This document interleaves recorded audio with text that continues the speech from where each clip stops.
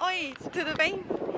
Então agora finalmente primavera começou e eu voltei a sair de casa porque inverno é muito chato sair de casa, mas enfim. É, eu tô hoje aqui em Washington DC, aqui atrás de mim tá o Washington Monument e hoje é o Pillow Fight Day, International Pillow Fight Day, significa que está acontecendo uma guerra de travesseiros em massa em várias cidades do mundo. Eu sei que no Brasil sempre acontece em acho que Belo Horizonte, São Paulo, Brasília, enfim. E aqui nos Estados Unidos está acontecendo em muitas cidades. Aqui em DC, New York e tudo mais.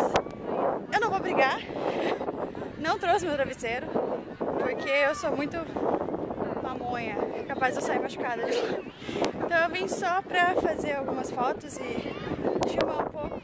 É a primeira vez que eu vim ver a guerra de travesseiros. E o pessoal já começou. Ia começar às 3 horas, agora são 13 e pouco. E vai das 3 às 5. Então eu vou tentar mostrar alguma coisa e ver quanto a gente tem, se realmente foi divulgado e tudo mais.